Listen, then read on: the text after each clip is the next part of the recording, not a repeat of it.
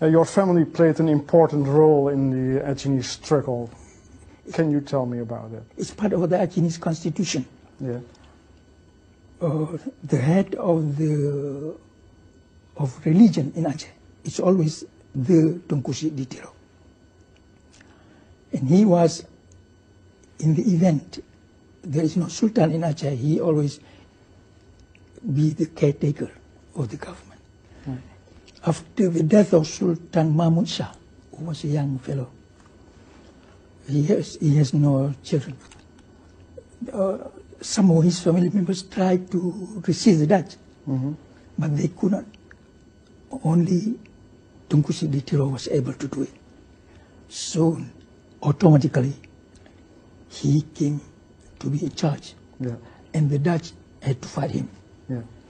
And after he died, his first son, his second son, his third son, his fourth son, his fifth son. After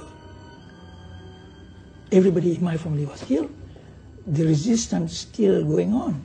Right. The, the, the, the, commanders of Achinis did not, Surrender. did not surrender. They carry on. So it is still painful for me to, to talk about it. It was a, a period of confusion. Yes. The Achinis, true to their character, they, op- they are against any invader. Even Japan, I believe, in Aceh is the only place in East Asia where the people revolted against Japanese. It happened in Aceh. In Aceh is nog steeds verzet.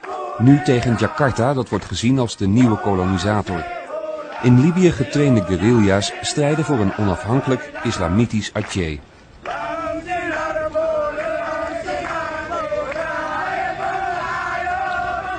Leider en financier van de beweging is prins Hassan Ditiro. Hij is van Aceh uitgeweken naar het verre Zweden, waar hij desondanks voortdurend wordt bewaakt door een lijfwacht.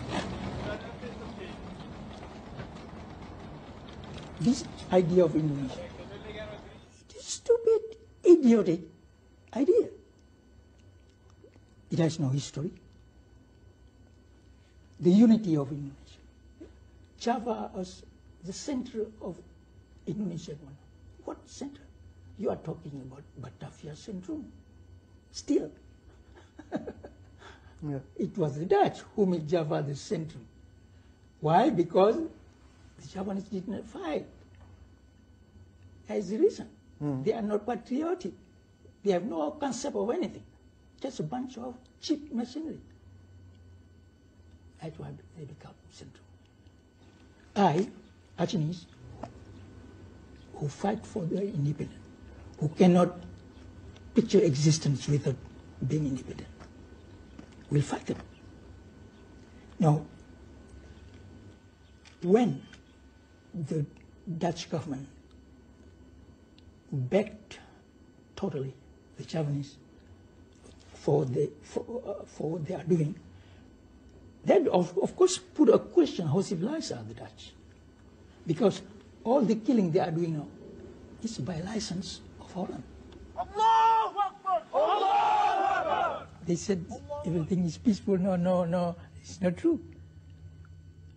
My forces still control a huge territory. You're still able to have contact with your people in Aceh? Yes. Yeah. Last month, the Javanese just burned, burned alive six of my followers in Medan. They put them in jail because they became the opinion leader among the prisoners in jail. How they do that? They just lock them in the room, they burn them alive. I mean, this whole thing is, is, is, it's happened. Yeah. That sounds uh, terrible. How, how can you, especially the church related organization, keep quiet about it? You see? Now, maybe the church organizations still look at the Achinis being Muslim